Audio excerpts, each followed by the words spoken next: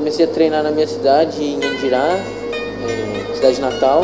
Aquilo que me motivou, eu gostei mesmo, assim, fui numa vez uma aula, eu gostei, daí eu continuei até hoje.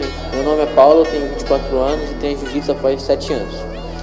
Ah, eu acordo umas 9 horas, como alguma coisa, daí à tarde eu treino mais jiu-jitsu, daí e tem dia de, que de manhã eu faço para uma preparação física.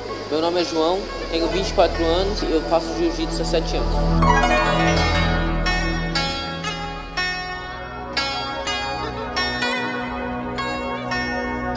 Eu treino de 4 a 5 horas por dia. A minha dica é treinar, treinar e treinar.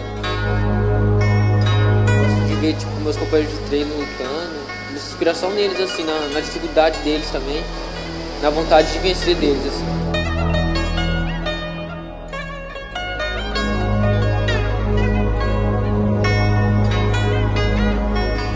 Treinamentos eu busco tipo, treinar tudo, né? Todas as situações, por baixo, por cima, se defendendo, atacando. Tem que fazer um pouco de tudo.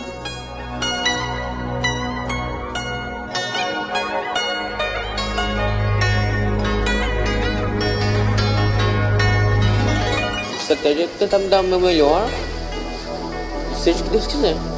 Se eu merecer a vitória, tá bom. Se, se não for meu dia, deixa pra próxima. A minha estratégia nos combates é tentar chamar pra guarda e impor meu jogo. E agora eu tô indo pra Nova York, eu vou treinar bastante lá e vou tentar alcançar meu objetivo lá. E eu acatei a ideia e tô indo lá passar, um, passar uma temporada lá. É, meu objetivo é ser campeão mundial na faixa preta em 2015.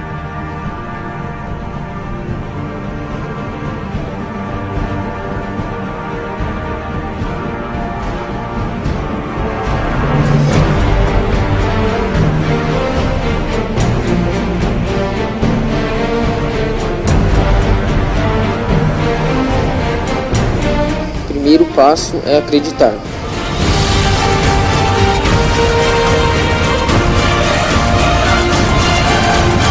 Jiu-jitsu é uma arte. A dor é passageira, mas a glória é para sempre.